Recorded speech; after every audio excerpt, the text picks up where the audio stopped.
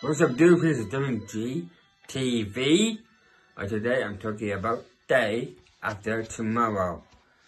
It was made in 2004, directed by Roland Emmerich. It was a science fiction disaster movie about a killer storm caused by a climate change.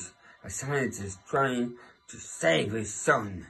The music was by Harald Kloser and it was very, very dramatic.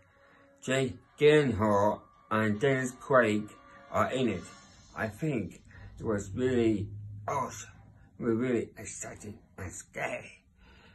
I think the special effects was really great and they have won a Big FIFA award. I give it 10 stars. I have a message. We can save the planet and defeat this virus.